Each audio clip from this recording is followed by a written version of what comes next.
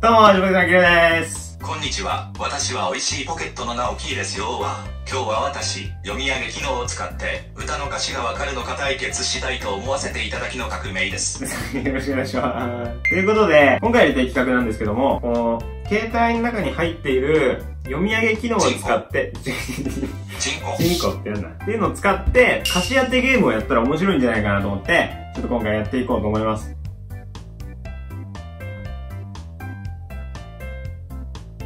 チンコ。チンコって言うなよ。どうしよっかな。先に出し、出し合いにする？それとも、出し合いにする？歌詞しかないね、それね。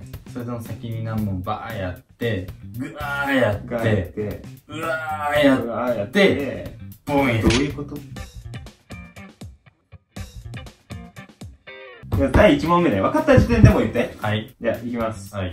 輝いたのは鏡でも太陽でもなくて、君だと気づいた時から、あの涙ぐむ雲のずっと上には微笑む月ラブストーリーまた一つ。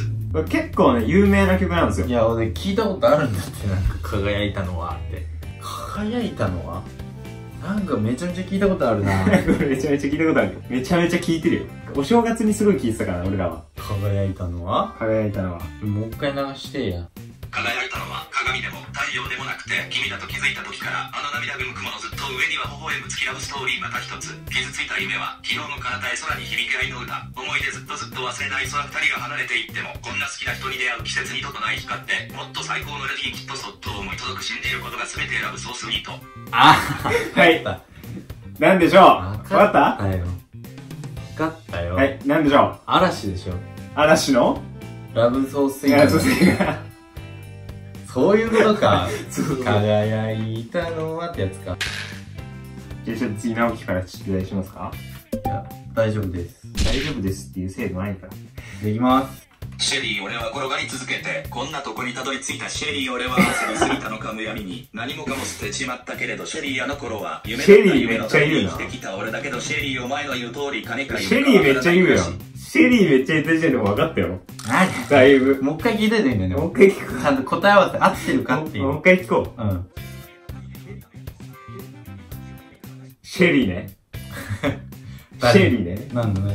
あれ芸能人の、あ、女性タレントのシェリーね。女性タレントのシェリーでしょ？女性タレントシェリーだったかもしれシェリーってね。ない。一応なんか今、うん。あったのは、サザンオールスターズさんのシェリー。全然違うね。嘘シェリーじゃないの？違うね。エリーだから。あ、それエリーか。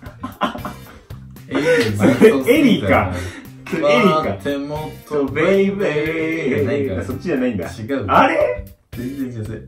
エリーエリーとシェリーがさ。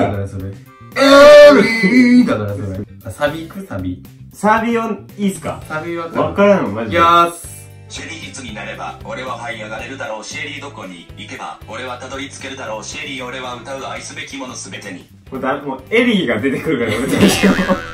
自分が悪いやん。勘違いした。エリーがどうしても出てくるんだって。もう俺ボケで絶対わかるやつやったのにさ。でも全然わからん俺。もうその勘違いの歯車がすごすぎてすぐわかるよ。一発目でもうシェリーだけでもうああってなるよ。シェえ、でもシェリーの前にエリーが来ちゃってるから俺。ああ三代目のね。ああえ？三代目のエリーね。あそうそうそうそうそうそうそうそうそうそうそうそう7年ボケたらなんか納得してくれてる雰囲気があった。失格だろもうそれは。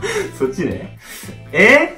ー、えわからん。マジでわからん。シェリーシェリーあやーソフィー。違うんだって。エリーだからそれ。マダーってやるそっちなんだよな俺はソフィーってやつでしょそれ。サビかサビサビシェリーいつになれば？わからんわからん。俺かわからんから。シェリー、どこに行けば、俺本当にわからん。は、あ？ちょっと待って、本当にわからん。なん歌われてもわからんから、もうわからん。答え合わせお願いします。いや、尾崎豊のシェリーだあ、もん。元崎豊のシェリーね。もう歌い方尾崎だったし、全然わからんわ。今回の動画がいいと思ったら、グッドボタン、あんまりやらしいこと言いたくないけどチャンネル登録、よろしくお願いします。登録ね。あんまりやらしいこと言いたくない。